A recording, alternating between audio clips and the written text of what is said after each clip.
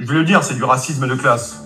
Les gens qui ont invité les Gilets jaunes sur les plateaux, et pour avoir vu plusieurs séquences, c'est un véritable racisme de classe. C'est-à-dire qu'on considérait le Gilet jaune sur le plateau télé comme un être absolument inférieur, débile, stupide, bête à manger du foin, qui ne comprenait rien, qui avait, rappelle-toi, des revendications floues, qui ne correspondaient à rien. Oui, vous avez gueulé euh, contre la taxe diesel, maintenant vous gueulez pour autre chose, vous savez pas trop ce que vous voulez finalement, et puis bon, vous êtes violent parce que vous faites brûler des poubelles.